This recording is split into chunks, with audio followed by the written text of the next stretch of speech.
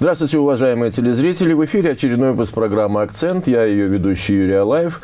И сегодня у нас в студии человек, который, по некоторым предположениям, находится на пороге или уже совершает революционный прорыв в области бигдейта, в области э, записи на оптические носители и хранения огромных объемов информации. Но прежде чем мы побеседуем с ведущим научным сотрудником кафедры оптики и нанофотоники Казанского федерального университета Сергеем Сергеевичем Харинцевым, Добрый день, спасибо, что пришли. А, давайте посмотрим очень небольшой репортажик из его лаборатории.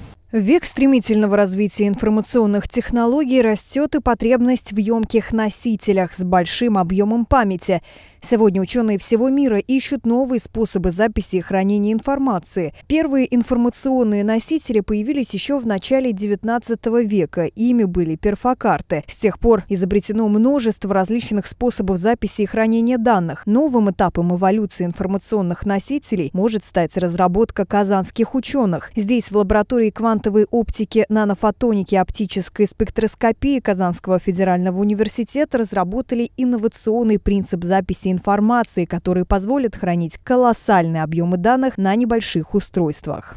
Представьте, что в устройстве, которое поместится в вашем кармане, вы сможете хранить миллион любимых фильмов. Если же вы предпочитаете литературу, то на трех таких носителях поместятся все книги крупнейшей в мире библиотеки Конгресса США. Сегодня дата-центры IT-компаний занимают огромные площади. Новые, более вместительные и вместе с тем компактные носители позволят значительно уменьшить хранилище информации. Главный параметр, определяющий емкость информационного носителя, это плотность записи. Если современный жесткий диск записывает примерно 1500 гигабайт информации на одном квадратном дециметре, то в КФУ нашли способ записывать до миллиона гигабайт информации на квадратном дециметре. Разница потрясает воображение. Разработчики пока не загадывают, сколько времени потребуется на производство первого прототипа устройства. Впереди еще много дорогостоящих исследований.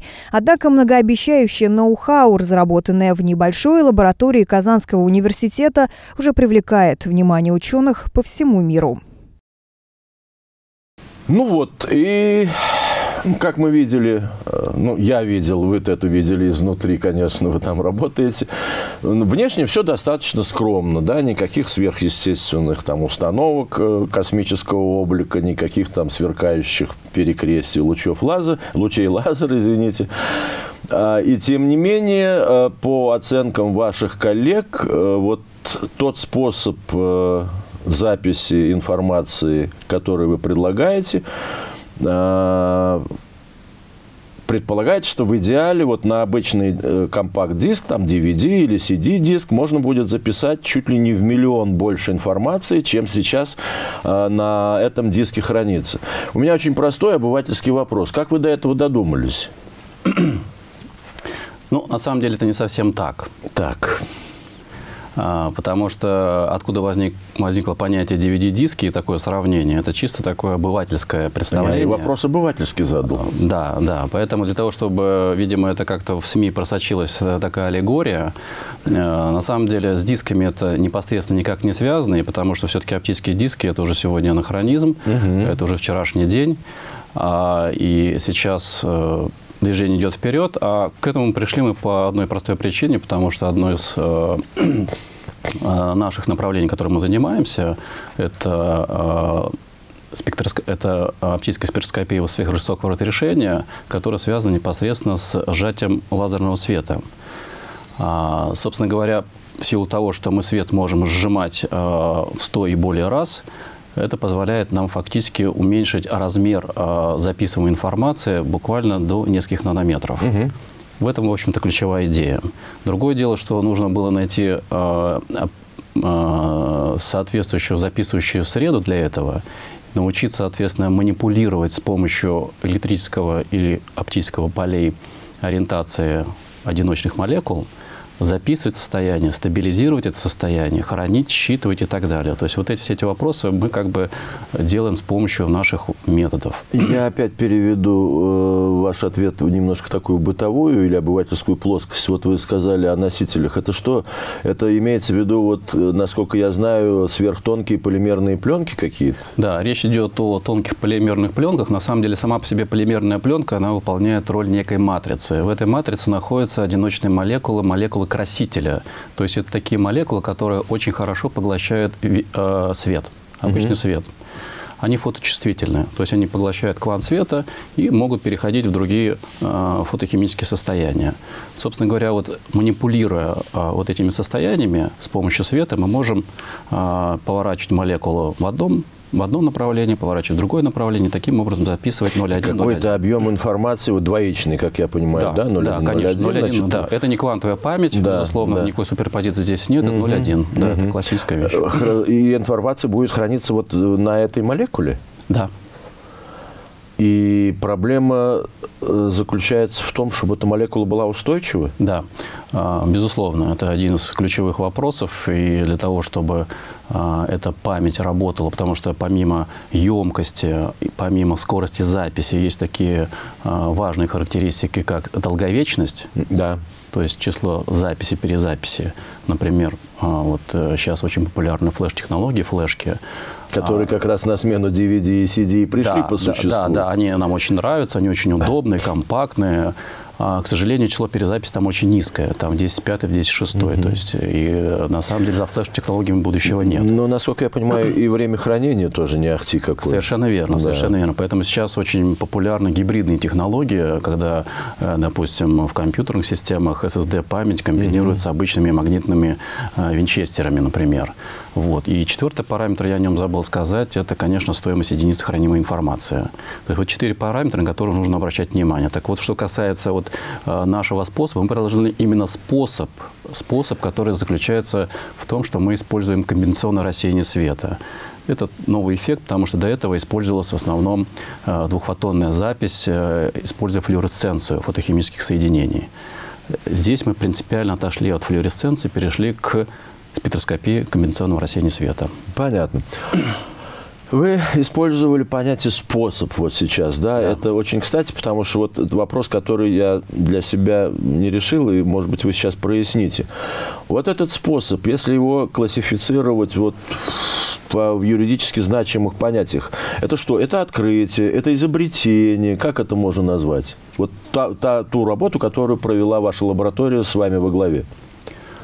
А, скажем так, ну, а, если говорить на языке, скажем так, венчурного капиталиста. Да, да, есть, да, я к этому и подвожу, да. Да, то есть есть понятие ноу-хау, есть а, изобретение, есть полезная модель и так далее. Конечно же, до этого на самом деле далеко, и, конечно, я бы все-таки склонялся к режиму ноу-хау в данный момент, потому что, в принципе, идея достаточно простая и на поверхности. Другое дело, что необходимо знать некие нюансы и тонкости для того, чтобы это сделать, э, потому что, действительно, эту работу мы делали, ну, где-то года два. Угу.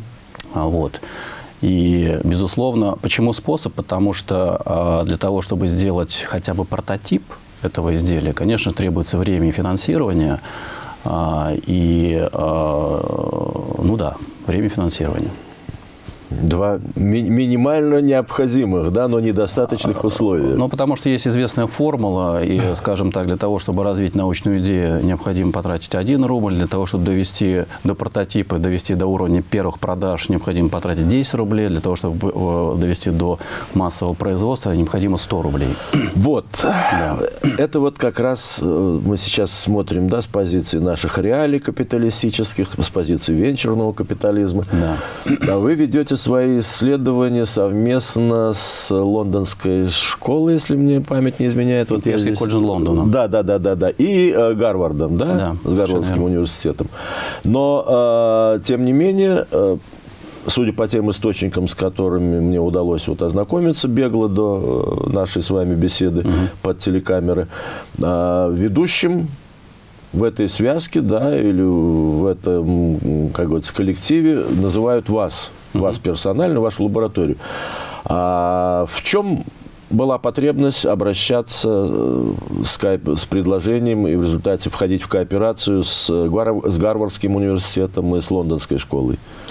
А, дело в том, что э, если мы говорим о Имперском колледже Лондона, а, там работает наш партнер, это Сергей Казарян. Мы его, кстати, приглашали в Казанский университет, он читал здесь лекции, мы давно с ним коллаборируем в этом направлении.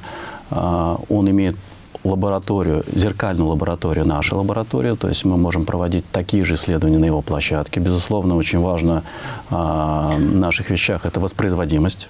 Зеркальный в данном случае имеется в виду сопоставимые или идентичные по составу оборудования, да. по возможностям, да, да, то есть буквально зеркальный. Да, да, есть такое понятие, как зеркальная да, лаборатория, да, да, совершенно да. верно, да.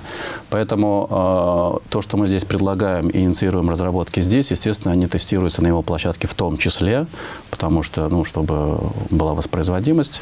Угу. Это очень важно э, в науке. Что касается Гавардской школы, то э, там э, работает наш теоретик, это Семен Сайкин. Э, он проводил для нас расчеты, угу. чтобы Э, мы могли согласовать и сопоставить экспериментальные результаты с теоретическими.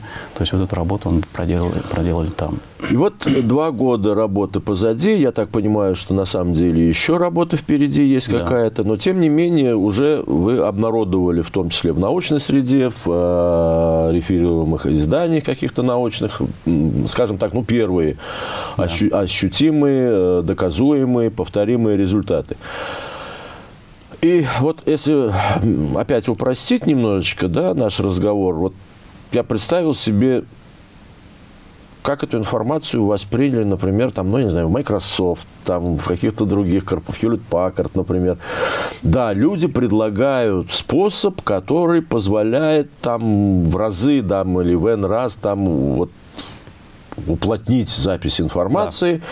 И в результате вот проблемы гигантские с этими гига... большими очень э, наборами серверов, вот, вот с этими с big data, с, да, с их да, энергоемкостью, да. они, да. они вот, ну, просто не то что исчезают, но становятся ну, уже не очень значимыми.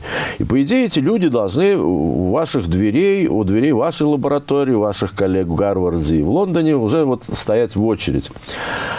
А, но не стоят, потому что, насколько я понимаю, э, впереди э, проблемы как раз вот это вот, ну, масштабирование, о котором вы вскользь сказали. То есть да. задача технологов.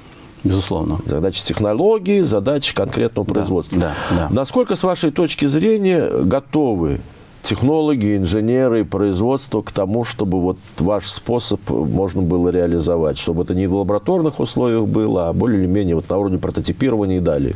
Я думаю, что это случится, когда мы сами создадим прототип в нашей лаборатории. То это есть будет... вы все-таки своими силами должны да, это, это конечно, безусловно. И тогда интерес не возникнет, потому что никто за эту задачу э, браться не будет, потому что большие риски. Угу. Мы это сможем сделать. Это будет, конечно, не технологично, это будет э, выглядеть немножко, может быть, смешным и так далее. Ну, на это... коленке, как Но это не важно, говорить, конечно, да. это будет на коленках технологиях, э, но дальше задача будет технологов, которые доведут э, эту задачу до, до конца. Ну, в частности, вот компания IBM, которую все хорошо знают, они специализируются как раз на глобальной, на интеллектуальной собственности, и в, в штате этой компании огромное количество первоклассных ученых, в том числе нобелевских лауреатов, они как раз занимаются именно вот так, такого класса задачами. А вот на ваш вопрос по поводу Big Data, сейчас появляется новый сервис, вот буквально вот сейчас э, по транспортировке данных из одного дата-центра в другой центр. Да? Mm-hmm. То есть вот сейчас одна из задач, ну, например, для того, чтобы переместить сегодня а, объем данных эксабайт, а, используют специальные грузовики длиной 13 метров. И для того, чтобы перевести, нужно э, потребуется примерно полгода полгода, Господи, да что? используя грузовики. Если мы напрямую начнем качать данные через интернет, э, это займет 26 лет. Это фантастические цифры. То есть хотя бы из этих соображений целесообразно этим заниматься. Но в частности, вот сейчас есть такая компания Digital Globus, да, а, да. которая перемещает данные из одного дата-центра в другой дата-центр.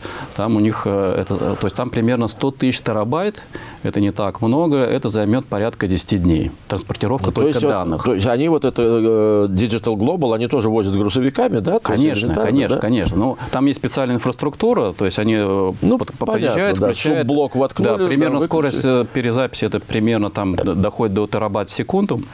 достаточно высокой скорости. Но, тем не менее, э, понятно, что эта проблема существует, она очень острая, потому что количество информации растет катастрофически сильным образом. Да. А, Наверное, последний на сегодня вопрос э, такого немножко местечкового характера. Эм, ну, мы с вами знаем, что в Казани есть э, и институты, и производства, которые достаточно продвинуты в области оптических технологий ну, КОМС прежде всего, там, ГИПО я имею в виду, а, какого-то взаимного интереса или интереса с вашей стороны, вот если иметь в виду перспективы ну, технологического освоения вашего способа, а, существуют вот такие встречные движения, или э, для э, этих людей, для этих структур, которые реально там занимаются там теми же фракционными решетками, они достаточно много ведь делают в этой части. Да, да, конечно. Для обороны в том числе. Э, не интересны вам, а вы не интересны им. Э, я думаю, это большая проблема вообще в нашей стране. Это большая пропасть между наукой и бизнесом, да. которую нужно сокращать, безусловно. Без... Поэтому ответ на поверхности, конечно, неинтересно. А, для того, чтобы возник интерес, э, еще раз повторюсь, э, видимо, тут необходимо, особенно молодежи, подключаться и создавать такой вот стартап и делать за небольшие деньги именно прототип какое-то изделие. Потому что сейчас в мире есть тенденция, когда крупные корпорации они, им проще купить стартап, чем вкладывать mm-hmm. собственные деньги в разработку с нуля. Это неправильный путь. На стартап тоже нужны деньги? Совершенно верно. Ну, для этого есть, э, есть Государственный институт развития, есть, слава богу, э, много венчурных фондов, есть фонды содействия малому предпринимательству, фонд, известный фонд Бортника, есть... Э, ну, понятно. Значит, э, проблема или задача номер, э, не номер один ближайшего времени – это найти молодых людей с горящими глазами, со свежими мозгами, с, э, желательно рукастых, да. которые взялись бы и соорудили вот этот стартап да. по подготовке да. прототипа, Совершенно верно, реализующего да. вас. Это вполне вас реализуемая задача. А, я надеюсь, что среди тех, кто нас сейчас смотрит, найдутся люди, с характеристиками, которые я только что привел. А, спасибо вам огромное, что вы пришли, ответили на вопросы. Мне кажется, это чрезвычайно перспективная вещь. Может быть, я как дилетант глубоко заблуждаюсь, излишне спасибо. романтичен. Да. Но почему-то мне кажется, что при вот звезды, если хорошо сойдутся, то это может быть очень интересно выхлоп, извините за... Абсолютно так. И на самом деле я бы обратил внимание на молодежь, которая сегодня в поисках и в самореализации действительно очень достойное направление, потому что сейчас э, технологии, IT, физика, инженеринг, они на большом подъеме, и здесь очень можно неплохо реализоваться для следующего поколения. Поэтому э, добро пожаловать в Институт физики. А, спасибо вам еще раз, Сергей Сергеевич. Спасибо вам, уважаемые телезрители, за внимание. Я очень надеюсь, что среди тех, кто нас сейчас смотрит и будет смотреть, возможно, повторы, найдутся люди, соответствующие тем характеристикам, которые я привел чуть раньше. Это была программа «Акцент». Меня по-прежнему зовут Юрий Алаев. До новых встреч!